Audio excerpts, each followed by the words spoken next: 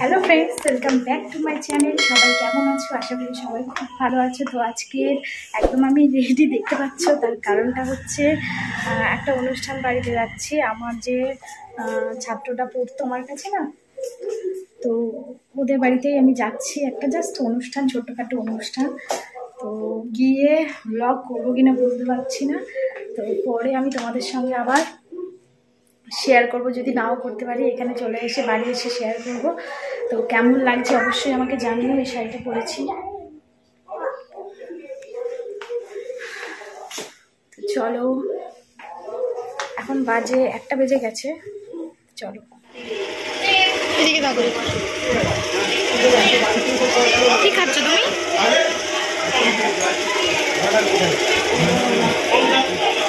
তো এলাম দিদিভাইদের বাড়ি।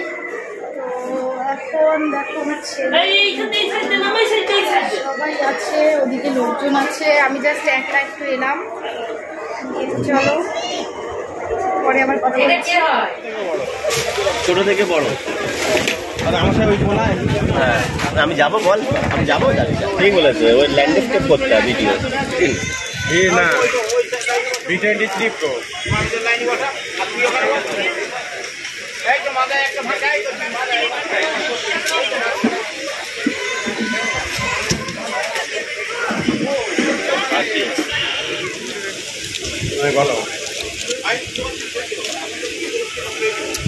এই আমি টিচার ফোনে তুলি একটু ভিডিও করে টাকা তুলি। যাবে ওইটা তুলি ওর ভাইপো থাক।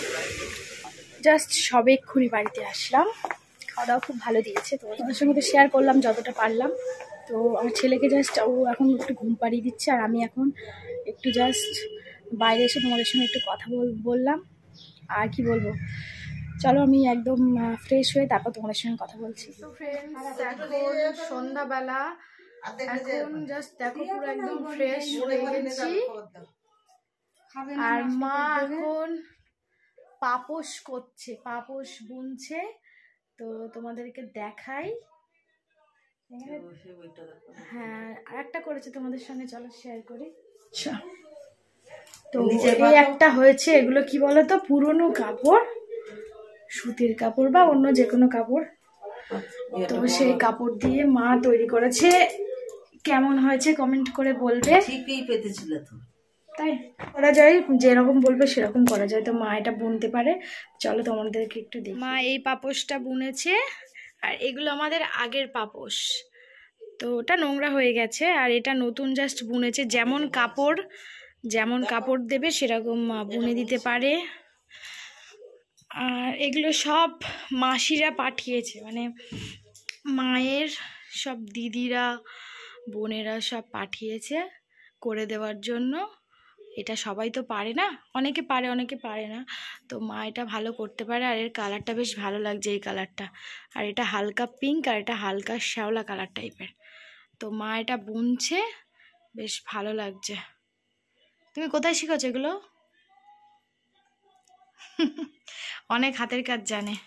আমি অত জানি না, কিন্তু অনেক হাতের কাজ জানে। তো এগুলো বোনাবুনি হচ্ছে। সবাইকে দেবে। আর আমার ছেলে তুমি কি করছ বাবা? কি করছ? কই দেখি হাতে কি? কাঁচি? তুমি কাঁচি দিয়ে ওটা কাটছো? ও আচ্ছা আচ্ছা। হা কি খাবে? ফ্ল্যাশ বাবা কেটে দি আর এটা আমার মা শুয়ে আছে। আর ওই যে মা এখন বুনছে। আমি এখনও রান্না বান্না কিছু করিনি করব। তো চলো আমি এখানে রেখে দিই। একদিনও লাগে দুদিনও লাগে। তো দেখো কতটা ট্যালেন্ট।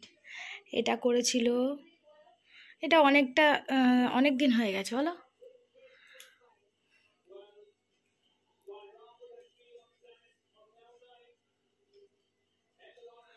তুমি কি বুনবে বাবা?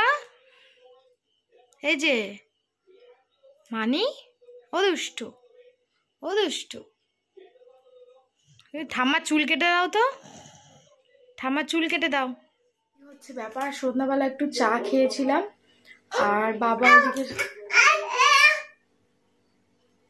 বাবা ওদিকে একটু টিভি দেখছে, আর মা শুয়ে আছে, মাছকে একাদশী করেছে, একাদশী। তো ওই জন্য শুয়ে আছে। আর আমি জাস্ট এসে ওকে ঘুম পাড়িয়েছি একটু ফ্রেশ হয়ে সেখান থেকে বসে একটু ভিডিও এডিট করছিলাম। তো এটাই হচ্ছে ব্যাপার।